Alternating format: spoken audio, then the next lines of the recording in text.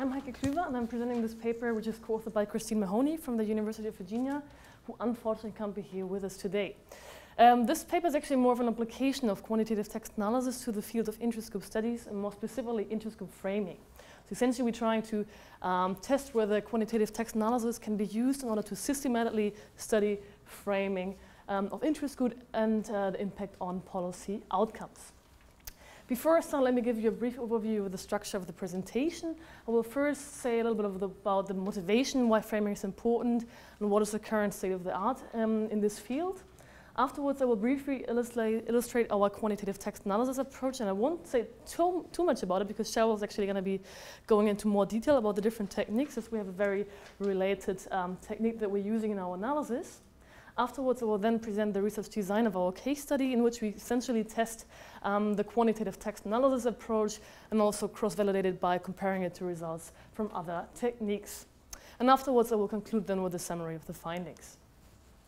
So essentially, what is framing? Framing, as we understand us, and here we follow Entman and from 1991, framing is understood as selecting and highlighting some features or reality while omitting others. So essentially, if you, for instance, talk about a legislative proposal, there might be different aspects in a policy proposal that you might want to emphasize. For instance, if you're an industry group, you want to emphasize the impact of a certain legislative proposal on the industry, on your market share, on your employment um, prospects. Whereas if, for instance, if you're an environmental group, you want to maybe emphasize the impact of a proposal on the environment and pollution, global warming, etc. So essentially, framing can determine which interests mobilize. It can determine how many interests mobilize, so which kind of groups are mobilizing in the legislative policy debate. And finally, also what policy options are considered. So what kind of options are actually on the table? What kind of um, elements of proposal are discussed? and interest groups therefore strategically use political rhetoric to steer political debate into a direction that strengthens their position on the legislative proposal. If we look at the literature, we find there's a lot of um, classical work, for instance, by Schattschneider and Riker, who emphasized more conceptually and theoretically um, the importance of framing, how you spin a debate, how you kind of sell your argument, how you make your point, that this is a crucial impact on the outcome of politics. In terms of um, empirical studies, we, however, have only few um, few studies so far. One is, for instance, by Druckman, which um, studied framing at the mass level, so at the public opinion level. And in terms of interest groups, we only have two studies essentially that empirically try to look into framing, but also study this on the surface, so don't really provide systematic data, um, which were Baumgartner and also my co-author, Christine Mahoney. So the problem that we had so far in interest group research is essentially that we had hardly any systematic data on interest group framing um, in this realm. So essentially what we're trying to do here, what the research question is of this paper is, whether we can apply quantitative text analysis to study interest group framing and its effect on policy outcomes. So on the one hand, study the framing techniques, so the framing and um, the argumentation of interest groups, but also the impact on actual policy outcomes, on actual policy debates.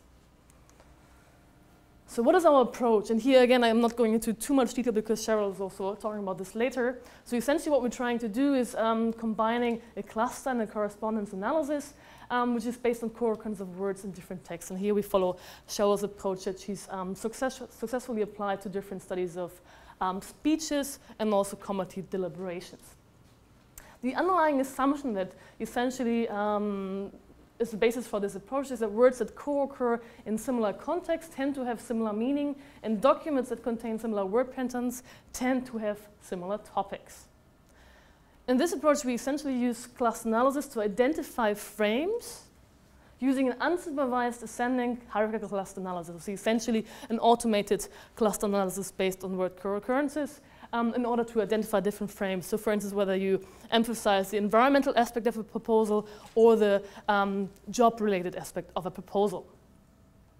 In the second step, we then run a correspondence analysis in order to um, identify and to assess the dimensionality of policy debate. So is the policy debate truly unidimensional? Similarly, with referring to what Will was talking about earlier, do we really only observe one dimension, one structure of conflict, or are two different or even more different dividing lines that um, distinguish the positions of different actors? And we use um, a ready-made software package called TLAB for this analysis. So what is our research design of the case study? We test um, the applicability of this quantitative text analysis approach based on um, based on a legislative debate on CO2 car emissions, which was taking place in the European Union in 2007. And we essentially chose this um, case because um, I conducted a study in 2009 using three different techniques, hand coding, wordfish, which was uh, the topic of Will's speech, at least partly, the scaling model that he was uh, talking about, and also word scores. Um, and we essentially here have independent estimates that we can compare to our results from the quantitative text analysis of framing. The documents that we use in order to um, study the framing of interest groups are on the interest group side, the submissions and online consultations of the Commission. So whenever the European Commission launches a new um, legislative debate by introducing a new proposal, it um, before essentially conducts a consultation in which um, the interested public, also interest groups, can submit comments.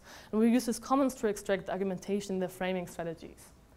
In order then to then study the impact on the um, actual legislative outcome, so the outcome of the policy debate, we use the communication of the European Commission, which essentially set the framework for the consultation, and then the preamble of the final legislative proposal adopted by the European Commission. And here are already the results of the um, first step of analysis or the cluster analysis. So essentially, the cluster analysis arrived at three different clusters, which we term the press cluster. For instance, here you then see the 15 most important words that identify the cluster. And here you see words like advertising, press, media, promotional. So clearly talking about the impact of this legislative proposal on the media. The second cluster we then term the industry cluster. And these are essentially um, arguments about the impact of the proposal on the um, automotive industry in Europe. So using words such as target, political value, uh, automotive model segments. So essentially talking about the different industry aspects. And the third cluster, which is called environment and alternative industry, which is just cut here because of space, um, is essentially employed by environmental groups as well as automo alternative automobile industry groups who produce um, so-called alternative um, vehicles such as electric cars, hybrid cars, biofuels. And these essentially joined together and argued um, about the superiority of electric cars and alternative cars and also about the global uh, the environmental impact of that proposal. And here you see the um, cluster membership of the different um, text or the different actors in our analysis. We had 23 interest groups, all of kind of different interest groups. So for instance, industry, uh, sorry, here the traditional industry, for instance, the European Automobile Association, um, environmental groups like Greenpeace, and then these are the alternative industry groups. And then we have a bunch of other groups, either the press groups and then a couple of, you know, the consumer groups, for instance, essentially here. And what you see here is um, how we um, coded the interest group type beforehand using information about the interest groups gathered from the submissions and also from websites. And here you see the cluster membership score. So um, to what extent they belong to the different clusters identified by the text analysis, and here the predicted best solution. Now you can see that most of actually most of the different interest groups essentially correspond in the um, cluster they belong to. For instance, all the different alternative industry groups as well as most of the environmental groups belong to the environment cluster, and here most of them belong to the industry cluster. So you see the kind of correspondence between what kind of group they are and what kind of arguments they put forward. Interestingly, you see that the Commission here at two different time points. First is classified as mostly environment, so mostly using environmental argumentation, environmental rhetoric. But then the second, uh, the second time point actually uses more of the industry terms. So it seems to be affected by the industry in its um, legislative proposal. And here are the results of the correspondence analysis. So the correspondence analysis essentially gives you um, estimates or coordinates um, in the policy space. And this correspondence analysis identified a two-dimensional space in which the first dimension accounted for about 58 of the 58% of the association, and then the second about 42%. And you see that essentially most of the interest groups um, oppose each other on the first dimension, which we term the pro-anti-environmental protection dimension. So essentially here is really about the impact on the environment, how strong should be the reduction target, how much reduction should be necessary.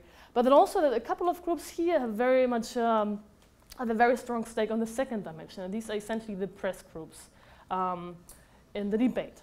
And interestingly, you see here the Commission moving from the first time point to the second time point towards the traditional automobile industry indicated here. So again, we would conclude that the traditional automobile industry was successful in its framing efforts. Now, how valid is our estimation? How valid is this technique? So in order to um, provide some cross-validation to test our uh, approach, um, we compared our estimates to um, independent estimates gathered in another study in 2009, in which we first of all hand-coded this um, different text, or actually I did this back then, and then we run uh, two scaling models the word fish and the word scores. And as you can see, there's a strong correlation on the first dimension between all three techniques, but very little one on the second dimension. So what kind of seems to happen is that the TLAB analysis strongly corresponds or strongly confirms the first dimension, but in addition also identifies a second dimension.